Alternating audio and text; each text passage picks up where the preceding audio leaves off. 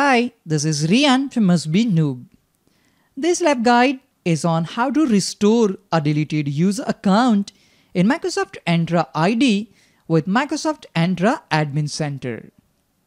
When you delete a user account in Microsoft Entra ID, the user is not deleted immediately. The account remains in a suspended state for 30 days. During that 30 day window, the user account can be restored along with all its properties. After that 30 day window passes, the permanent deletion process is automatically started and can't be stopped. When a user account is deleted from the organization, the account is in suspended state.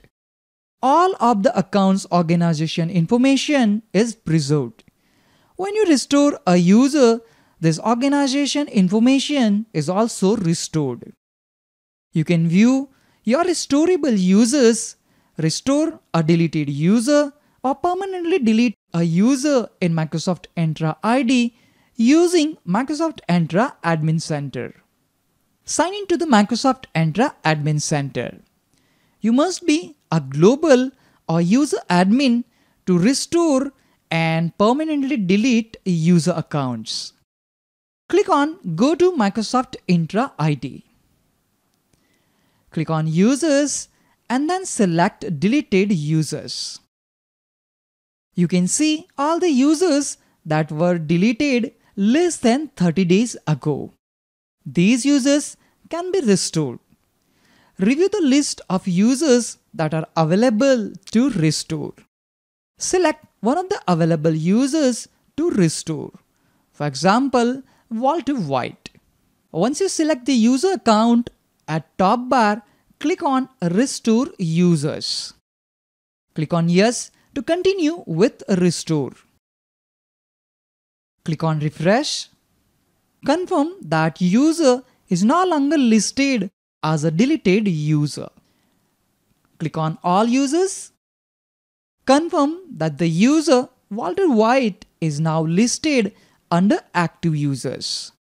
Once a user account is restored, licenses that were assigned to the user at the time of deletion are also restored even if there are no seats available for those licenses.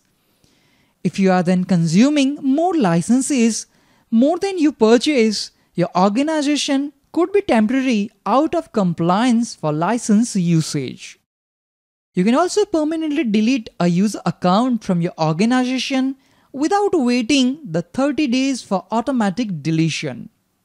Remember, a permanently deleted user account can't be restored by you, another administrator, nor by Microsoft customer support.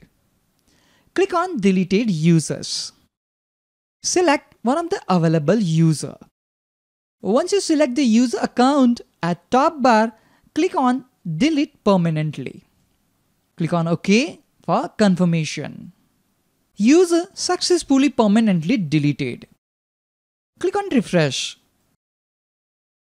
Confirm that the user is no longer listed as a deleted user since you have permanently deleted that user account.